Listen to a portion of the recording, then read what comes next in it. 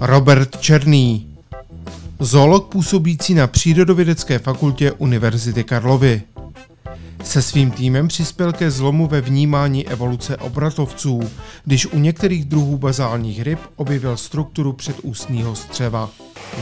Tady se nachází v naší akvarijní místnosti, kde máme ubytované hlavní hrdiny našeho výzkumu, to jsou bychyři, na kterých jsme objevili to podivuhodné předústní střevo. Zoologové studovali embryonální a larvální vývoj ryb. Objektem jejich zájmu byly kromě afrických bychyrů také evropští jeseteři a američtí kostlíni.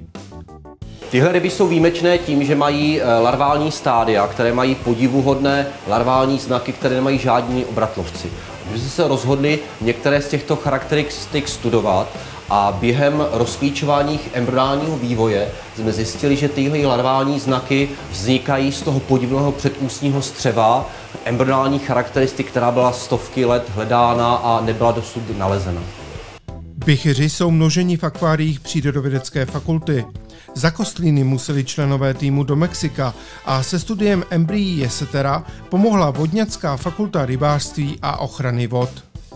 V tomhle akváriu máme jednak ty africké bychyry, které tady hlavně chováme a soustředíme se na ně, ale máme tady i zástupce těch eh, amerických kostlínů, to je velice příbuzná skupina, tohle jsou severoameričtí kostlíni, ale my dojíždíme do přátel laboratoře v Mexiku v podivné provincii Tabasco, kde mají jiný rod, ale jsou to stejně vypadající ryby a mají je tam eh, zavedené do akvakultury podobně jako my, takže jsou schopni získat poměrně velké množství embryonálního a larválního materiálu, který my potom můžeme k těm našim výzkumům využívat. Na začátku výzkumu byla kniha Johna Samuela Budgeta, kterou Robert Černý objevil náhodou. Její autor byl prvním zoologem, který před stolety získal embryonální materiál bychyrů.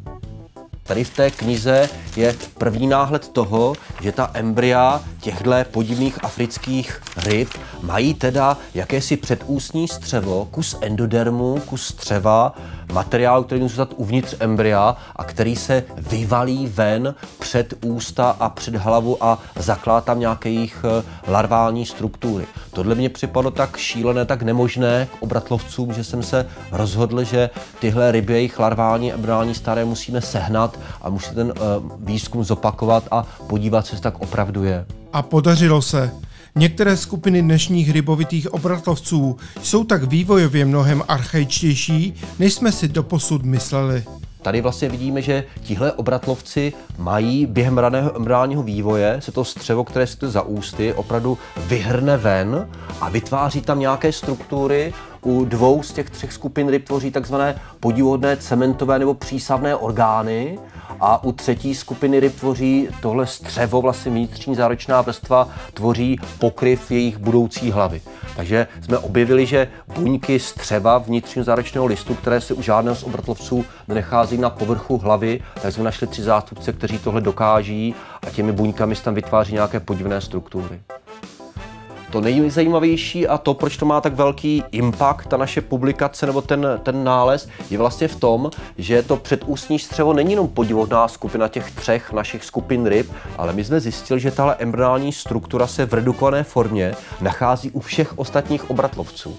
Ale objevil se tam pouze v krátkém čase ve velice raném embryonálním vývoji a byla dosud zaměnována za nějakou jinou strukturu. A nám se podařilo ji teda vyjevit v tom raném embryonálním vývoji těch ostatních obratlovců a ukázat, ukázat, že je to struktura typická pro všechny obratlovce a že dosud byla přehlížena.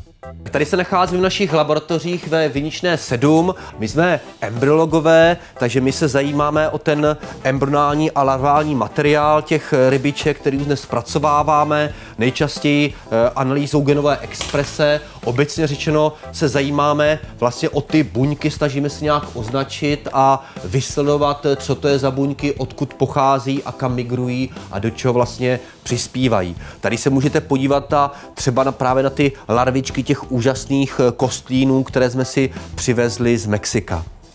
Výsledky výzkumu byly publikovány i v prestižním vědeckém časopisu Nature. Už se nám podařilo ukázat, že něco jako předústní třeba opravdu existuje a v těch následujících výzkumech bychom rádi otestovali funkci tady téhle embryonální domény a důležitost pro evoluci obratlovců.